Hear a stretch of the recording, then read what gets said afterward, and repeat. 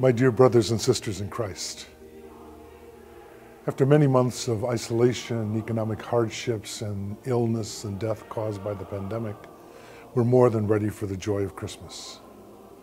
The way we celebrate will be different this year because of social distancing and travel restrictions, but celebrate we must. Do you think that the saints and angels celebrate Christmas in heaven? I hope so. This is a wonderful feast filled with warmth and love, peace and joy. I know that every day in heaven is delightful, but maybe even heavenly bliss can be turned up a notch, at least one day a year, with the magnificent voice of an angelic choir and the brilliant glow of a shining star. I can just imagine the joy that our Blessed Mother and all the saints must feel on this very special day. You suppose that if we ask them with humble hearts this Christmas day, they would open the gates of heaven just enough to let their joy overflow, filling our troubled world with a small share of the happiness and peace they possess in eternal life with God, the Father, Son, and Holy Spirit. We associate joy with Christmas. Do we know what joy is? Have we experienced it lately?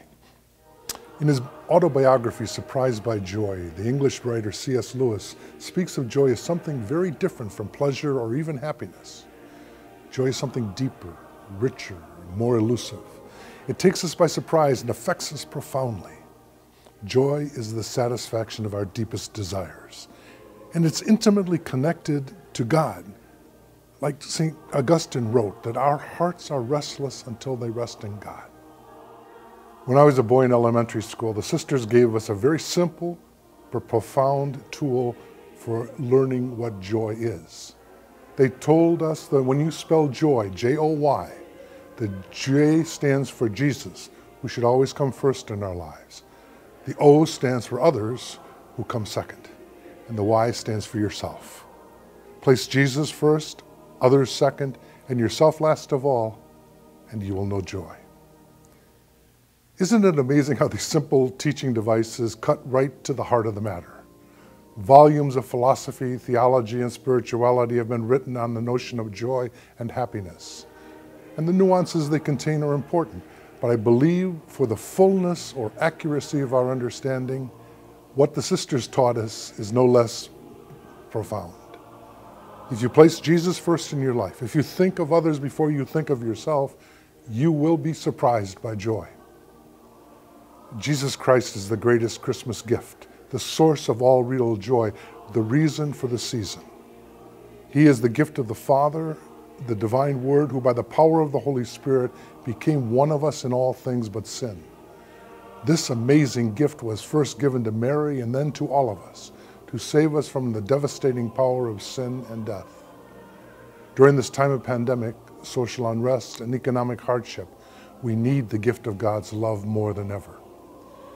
This is what we celebrate at Christmas time, on earth as I hope in heaven. The day when we call to mind most vividly the mystery of the incarnation and the joy of Christ's birth. Christmas celebrates the joy, the fulfillment of all human desiring.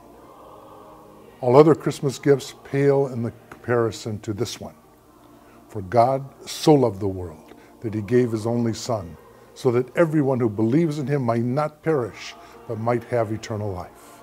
For God did not send his Son into the world to condemn the world, but that the world might be saved through him.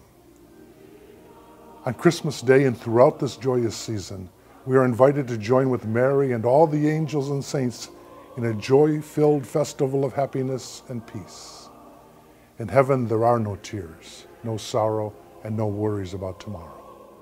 Because heaven is not really a place, a geographic location, but an experience of loving closeness or communion with God who is our heart's desire. It's hard to imagine what this grand celebration of heavenly joy looks like. We like to use images of music and dancing and sumptuous food because that's what our earthly celebrations are like. But we really don't know for certain what Christmas is like in heaven.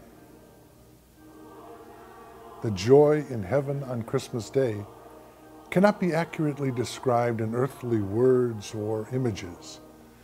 But we believe with all our hearts that those who have gone before us to our heavenly home rejoice on this day. And we hope and pray that this joy will spill over and bring peace on earth today and always. Jesus is our J O Y. When we place Him first, others second, and ourselves third, everything falls into proper perspective. I pray you enjoy a peaceful and faith filled Christmas season. May God bless you and your loved ones. Merry Christmas.